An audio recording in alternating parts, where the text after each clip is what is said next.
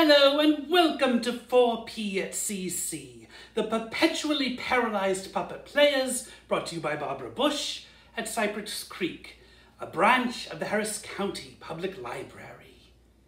This week we present to you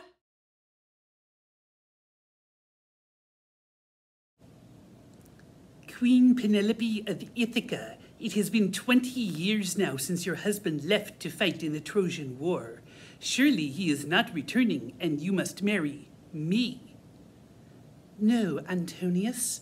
Odysseus will be back. The war was going on for 10 of those years, so really he's only 10 years late. 10 years is too long for Ithaca to be without a king. I rule just fine, thank you.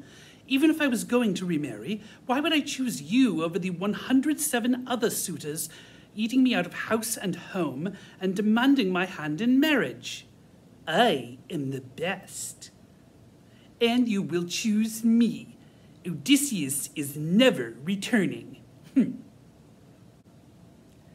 Mom, did he say Dad's not coming back? Of course he is, Telemachus. I'm tired of waiting. I'm going to go find out what happened to him. Somebody get me a ship. Hello, Telemachus. Welcome to Sparta. Menelaus, you fought alongside my father in the Clone Wars. Trojan War. Right, that's what I said. Anyway, where's my dad? Gosh, he was with us when the war ended. Then we got on our ships to sail back home. Athena cursed us to have difficult journeys, but the rest of us made it back okay. Why would Athena curse you? Uh, yeah, I, uh, I'd rather not talk about it. Okay, I'm going to go for a walk. La la la la la la la. Oof. Oops. Sorry, young woman. God. Uh, young god, sorry. I'm as old as time itself. What? I'm as old as time itself. I'm not young. Well, I can't just call you God. You could call me Athena. Well, I didn't know you were called Athena. How do you get become a god then? I began as an ache in Zeus's head, and then I burst forth from his head fully formed. Strange women lying about in people's heads is no basis for a system of theology. Strange notions in people's heads is the only basis for a system of theology. Why did you curse my father? Of all the Greek warriors, Ajax was the strongest. You might even say that Ajax was stronger than Greece.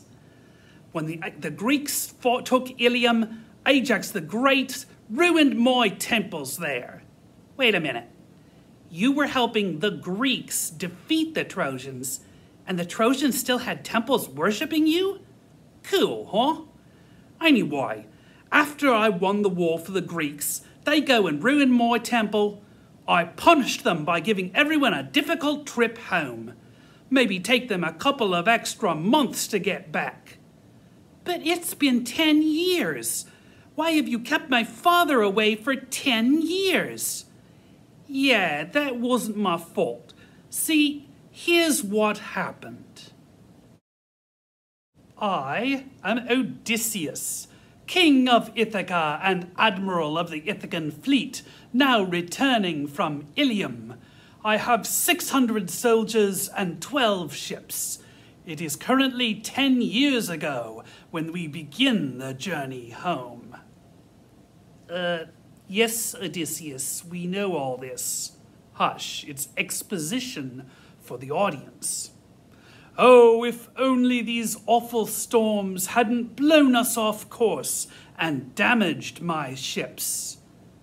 The map says this island over here has plenty of supplies for us to make repairs with, and the inhabitants are peaceful.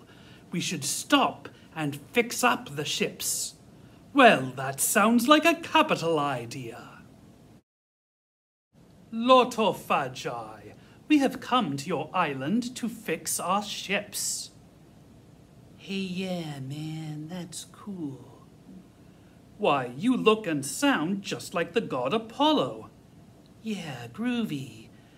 We like, we worship Apollo, and he gives us magical lotus flowers and fruits that let us see the future. It's out of sight, but we can see it, so it's like insight. It, it's cool. Oh, I have no interest in such things.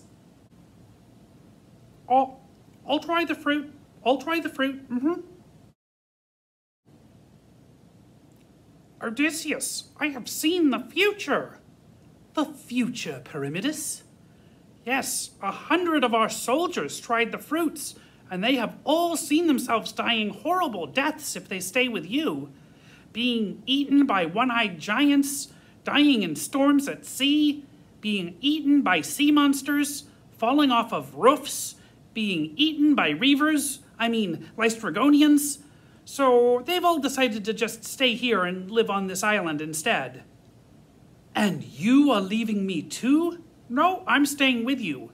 Ah, so you don't die a horrible death then? No, I die a horrible death, but I promised I'd stay with you, and I keep my promises. Okay, cool. The ships are all fixed. I am Odysseus, king of Ithaca. I have 500 soldiers and 12 ships. Let's set sail for home. So then he had had his punishment, so I lifted my curse to let him come home. Well, why isn't he home then? Well, they could have restocked food right there on that island, but Odysseus didn't want to risk anyone else eating the lotus fruit, seeing the future and abandoning him.